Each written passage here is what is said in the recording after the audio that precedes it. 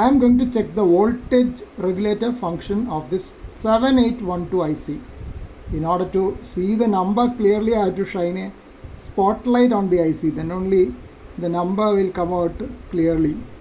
7812 IC has been mounted on the breadboard. The first one is pin number 1 that is the input. Second one is pin number 2 that is the ground which is common for input and output. And the last one is pin number 3 which is the output. I am checking the output voltage of the 7812 IC and it is shown as uh, 12.31 volts. There is minor fluctuation between 12.31 and 12.32. That is the output voltage from pin numbers 2 and 3.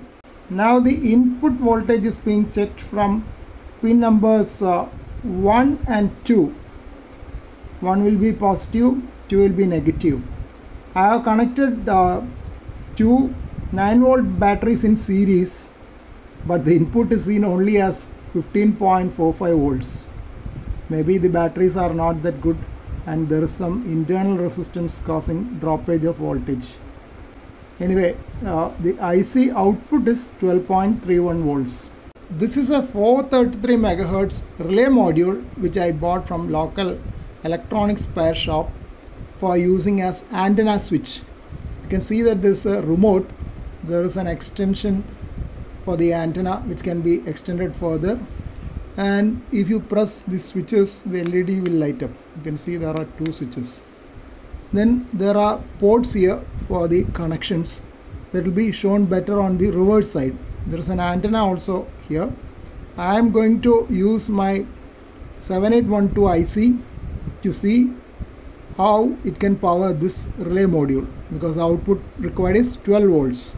It is easy to find out the connections from the reverse side. You can see that uh, there is a negative voltage supply and a positive voltage supply.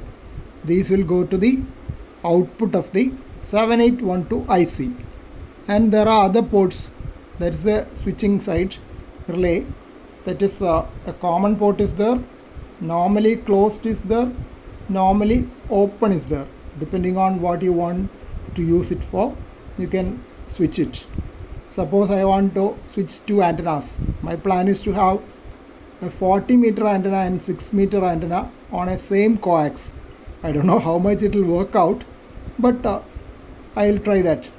As I want uh, 40 meter antenna to work always I'll have to connect it to the normally